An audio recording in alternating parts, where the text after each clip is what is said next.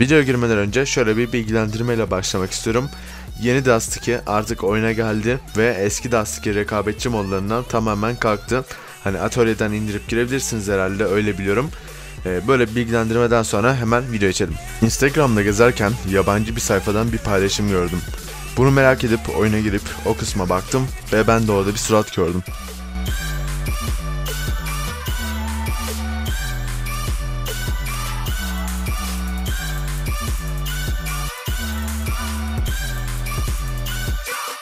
Normalde surata odaklanmadan düz bir şekilde bakınca lekeli tarzda bir duvar görüyorsunuz.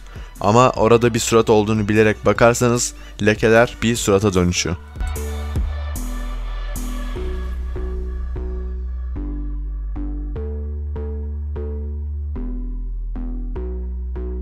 Map'in yapımcıları acaba oraya kimin suratını koydu? Genellikle insanların aklına iki isim geldi. Birincisi Vajbanyan Kukli, can't believe what I'm witnessing right here. wow! Get out of here! Get out of here! diğeri ise Headshot makinesi Scream. in this kind of a setting, especially because the CT side is their better side. It's their T side where they really struggle. What?